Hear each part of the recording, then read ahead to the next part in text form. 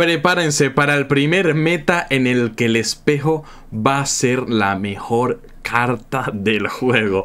¡Vamos a ello!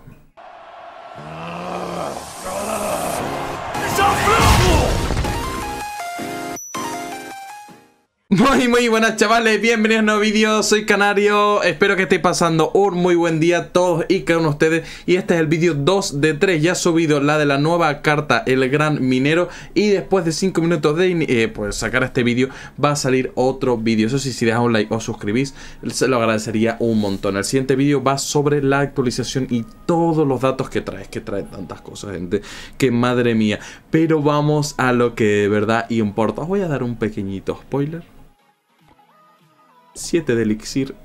Ahí lo dejo. Ahí lo dejo.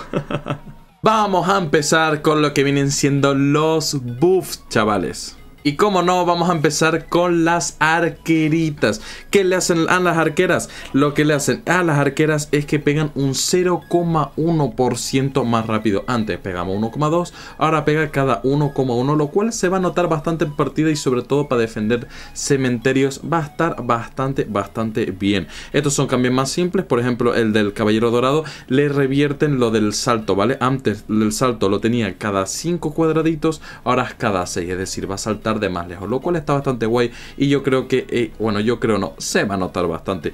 Y sobre todo el gigante esqueleto, que yo no lo entiendo, gente, ya esta carta ya lleva bufeada 6 temporadas, yo creo, o sea, o 6 cambios de balance, pero nunca le sumen lo que de verdad quiere la gente. Al gigante esqueleto lo que le hacen es que le suben un 0,1%, ¿vale? El daño, digo el daño no, en la velocidad de ataque y le suben un 7% la vida, chavales, lo cual yo no lo entiendo porque yo creo que el gigante esqueleto la función es la bomba que tiene, que explote y se están empeñando en hacerlo una carta que tenga más vida, que pegue más y que tenga la función de la bomba pero que no pegue mucho, lo cual a mí no me gusta tanto, me gustaba más como antes, pero bueno, lo van haciendo buff, buff, buff y cada vez lo van subiendo más, más, que ahora que sí más vida, que ya tiene un montón de vida, que encima pega un 0,1 más rápido, yo creo que vamos a ver bastantes gigantes esqueletos en este meta, porque va a estar bastante, bastante bien. Que por cierto se me había colado la lápida ahí, estaba en la parte de nerfs, ¿vale? Para, para, que no lo sepa, buffs es subir cartas, nerf es bajar y sobre todo rework es que ni es buff ni es nerf, sino que la modifican en sí. El espíritu de hielo pasa el tiempo de congelación de un segundo a 1,3 Vamos a ver mucho espíritu de hielo. 0,3 segundos. Háganme caso, que se nota mucho. Y vamos a ver mucho más ciclos con espíritu de hielo. Lo van a tener que bajar. Háganme caso. Por experiencia lo vamos a ver tanto. Y se va a jugar tanto. De verdad, parece muy poco. Pero va a ser una locura. Llegamos. Llegamos al rey. Al rey de los balances y al rey del meta. ¿Qué le hacen al espejo? Mírenlo ustedes mismos. Nivel de duplicado. Lo acabáis de ver, ¿no? A nivel 16. Ya el espejo sigue exactamente igual que antes. ¿Qué es lo que pasa? Que ahora cuando tiras el espejo, en vez de tirar el nivel uno más arriba, es decir, tú tirabas un PK al 14 y el espejo te lo replicaba al 15. Ahora no va a ser al 15, ahora va a ser al 16. Vamos a ver pecas al 16, gigantes eléctricos al 16, chipitas al 16. Los jugadores de espejo están ahora mismo así. Es que es una locura, chicos. O sea, yo, yo os lo digo. O sea, tú imagínate jugar a una partida de normal. Tú tienes una princesa. La tiras al 14, la mandan, tiras una princesa al 16, dime qué mata eso. ¿Lo matará un tronco? Yo dudo que el tronco mate una princesa al 16. Y así con muchas cosas, muchos espejos, eh, chavales. En el mid ladder, lo siento mucho por ustedes. Pero estáis, vamos, yo sabes cómo estáis porque cuando os tiren unos bárbaros de elite al 14, que ya es mucho nivel, y os tiren un espejo y os veáis unos bárbaros al 16 con furia, vas a querer desinstalar el juego. O sea... ¿Qué buff le hicieron? Va a ser la mejor carta del juego sin ninguna duda, chicos. Cartas al nivel 16. Sin ningún sentido lo veo. El buff que le hicieron. O sea, está muy guay y estoy muy contento por el buff pero va a estar muy roto. O sea, tú imagínate estar jugando a nivel de torneos. Tiras una carta a nivel 11 y después puedes tirar una a nivel 13 casi maxeado. Y nosotros sabemos lo difícil que es jugar contra cartas a nivel alto. Un nivel con el espejo, bueno, le cuesta uno de elixir más, no es tanto. Pero ya dos niveles, cuidado, eh. cuidado, que te tiran ahí un mini P.K. al 11 y después te tiran uno al 13 y yo que tú tendría mucho cuidado. Cuidadito con el espejo porque se vienen curvas. Después, miren mi niña que mona, la Valkyria. Como veis por aquí, le han cambiado la imagen a la Valkyria y la que está ahora me gusta bastante, sinceramente, está bastante guay. Y lo que le hacen a la Valkyria, justo que lo vi ahí, pues dije, vamos a ir por la Valkyria. Entonces le bajan un 4% la vida, la verdad es que tenía mucha vida y se lo merece. El Mega Caballero, algo que todos deseaban, prácticamente que le cayera un nerf. El daño de salto del Mega Caballero, es decir, cuando el Mega Caballero cae le quitan un 20% de ese daño.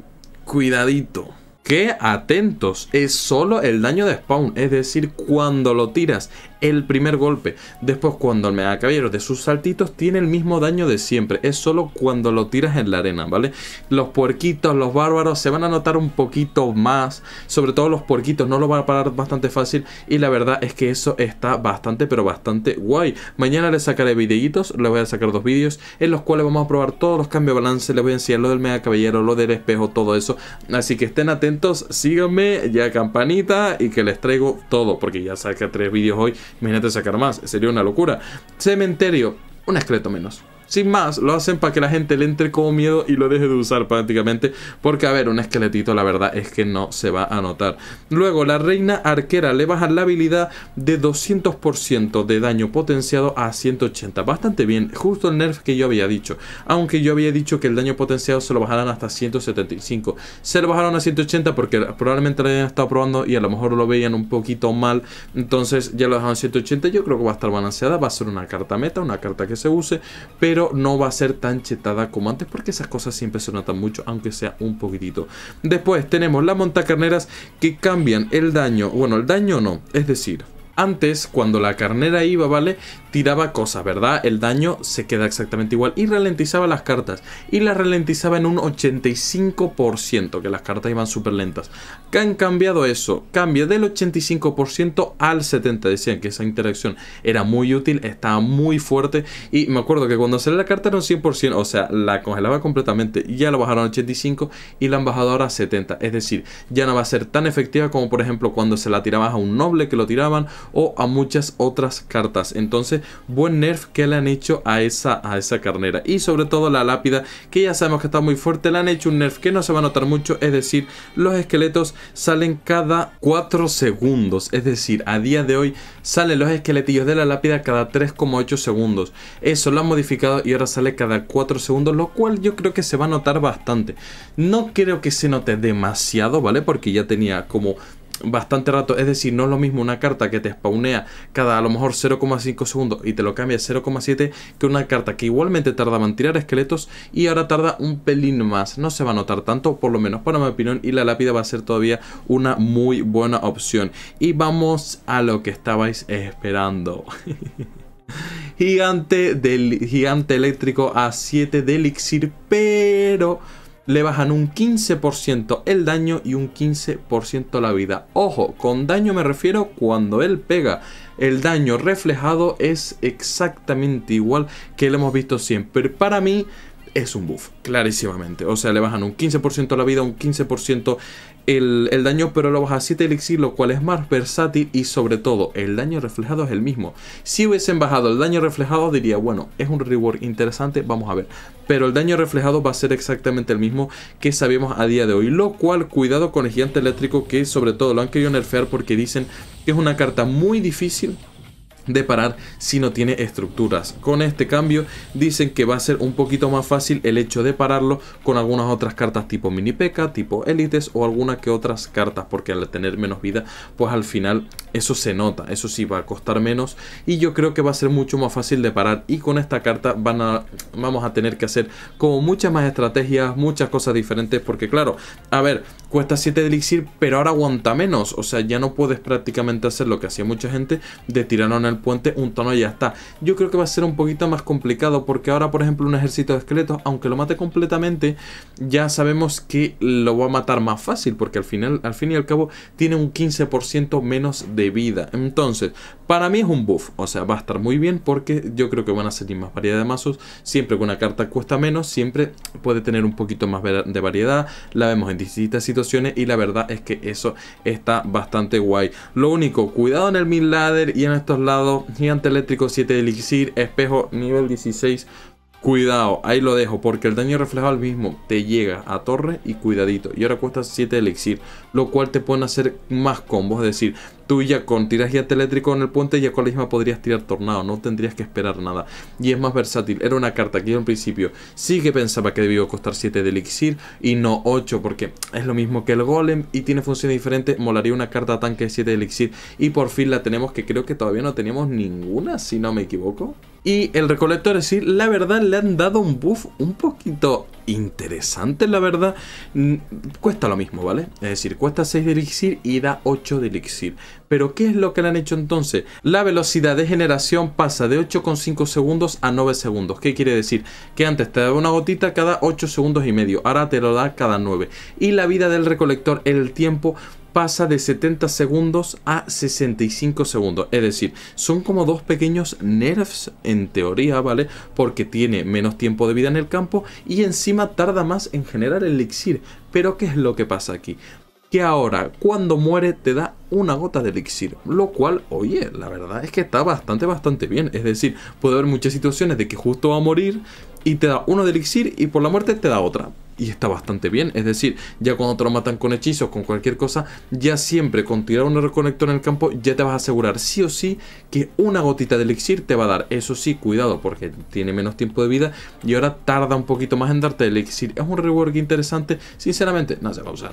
O sea, yo te puedo estar explicando todo aquí, pero yo te doy mi opinión sincera. Yo creo que no se va a usar porque igualmente es muy débil contra los hechizos. Es decir, a lo mejor ahora se da la situación en el que cuando antes no te daba ni uno de elixir, uno elixir, ahora te da dos y la verdad está bastante bien, pero no creo que sea un buff totalmente worth it, como quien dice, ¿vale? Como que sirva, por decirlo de alguna manera. Entonces, hacen ese cambio, pero a mí me parece interesante. Habrá que verlo sobre todo, porque aquí podemos decir una cosa, pero dentro de la arena siempre es otra. Y a salen mazo de tríos con, con recolector y cosas por el estilo, y a lo mejor la pueden liar completamente y que sea una auténtica locura. Y la verdad va a estar bastante interesante ver todas estas cartitas, la verdad. Me gusta sobre todo el cambio del espejo, me parece un cambio espectacular. De los buffs para mí es el mejor. Después de aquí el cambio del Megacayero está bastante bien, el de la caída para los porquitos y todo eso le favorece mucho. La Valkyria necesita un nerf que la nueva imagen está muy guapa. Y está bueno, le han hecho nerfs muy pequeñitos de esto que apenas se nota, pero siempre se agradece, porque estas cartas estaban muy fuertes en el meta y siempre está bien no matarlas directamente, sino a lo mejor pues lo que viene, lo que viene siendo bajarlo un poquito, un poquito, un poquito que está muy bien. Y luego de estas, pues el gigante eléctrico me gustó, hay que verlo en partida.